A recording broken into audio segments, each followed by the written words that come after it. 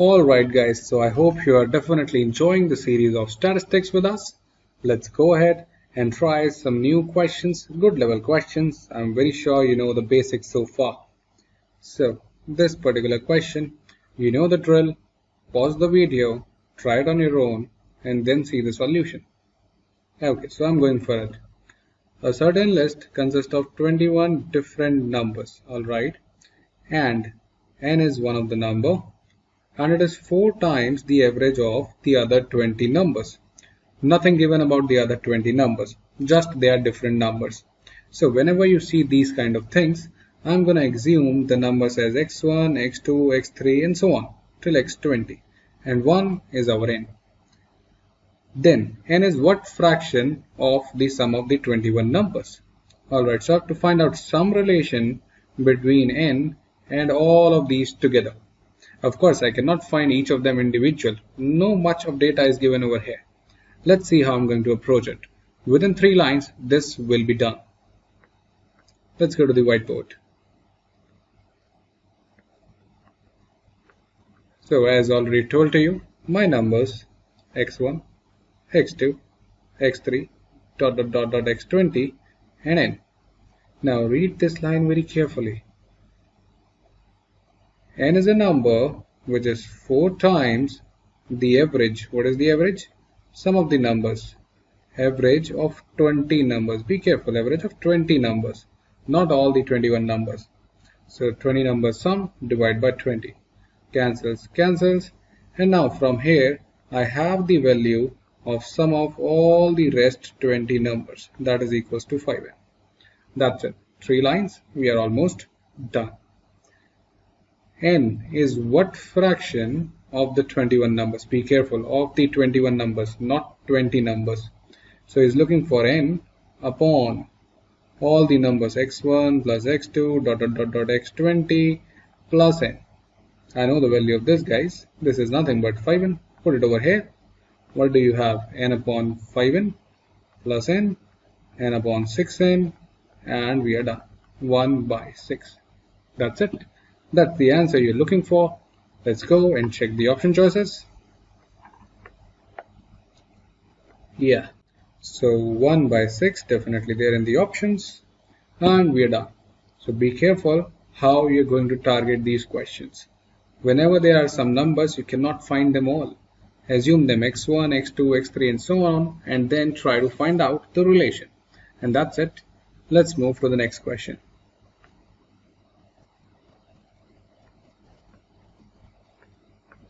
Okay.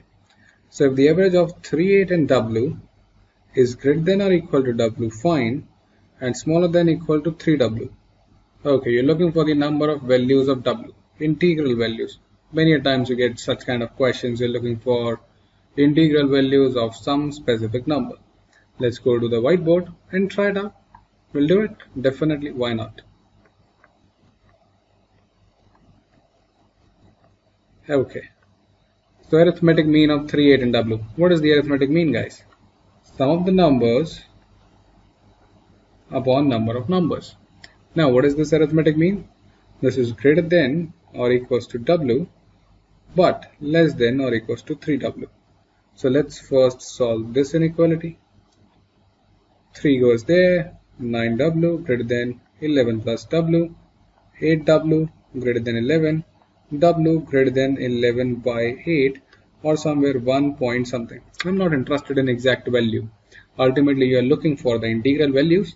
The first value w will be able to take is nothing but 2 which is greater than 1 point something something.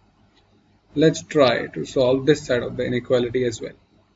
11 plus w is greater than equals to, now this goes over here, 3w better to keep the w's or the variables positive. So I'm taking this w over here. 11 greater than equals to 2w, w less than 5.5. So what are the values of w? 2, 3, 4 and 5. That's it. Greater than 1 point something, less than 5.5. I just have 4 values 2, 3, 4 and 5. Why? You looked for integral values. So the answer is 4. I hope many of you have got the answer. If you haven't, guys, still we need to practice a little bit more. but more or less you're going to see such kind of questions in GMAT. Slowly I'll increase the level further. Okay, so 4. Yes, so the answer is D. That's clearly 4. Let's try one more for today and then we'll end it up and then we'll wrap it up and we'll meet in the next video. You have the options. You can continue doing all the questions, right? All the videos are already lined up. You can see that in the playlist. Sit for an hour and finish up the entire topic. Alright, so now they're looking for the mean of this big numbers. Now the question seems tricky, but it isn't. Just a little thing you need to be very careful of. No, of course not. You're not going to calculate this. There is a simple catch, guys. Look at the numbers. They are very close. 54320 and 54322. Let's see what I'm going to do with this. Alright guys, so what I'm going to do is, I'm going to write this as 5, 4, 3, 2, 1 minus 1 whole square.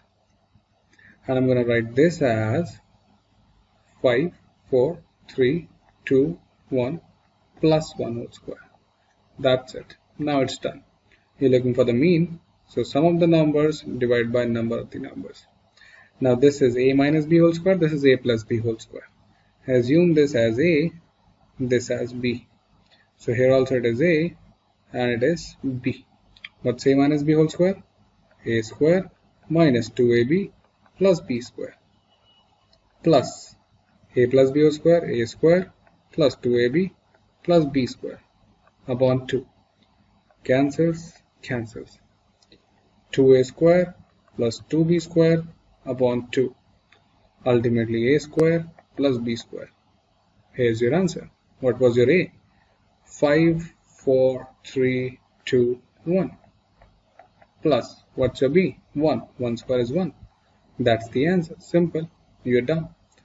Now you might think that how would we think that we have to write it in that format? Guys, with the help of little practice. And also, I've already told you, the answer or the hint lies in the option choices as well. It's not just about the question. Look at the options. Each option had 54321, 54321. Right? Forget about this one and this one but three major options have 54321 it must have had something to do with 54321 that's all I thought and I've got to the answer and right approach. I hope you understood this. Please like share and subscribe the video. Share with your friends. Free education quality education. And I promise you guys I'll bring in entire quant content on YouTube. Let the revolution begin. And I'm very sure if you're done with all these videos no question can come out of this. You will definitely score a Q50 at least in your GMAT. Just watch these videos, each and every content, practice them, that's all. Goodbye and take care. Have a nice day. Bye-bye.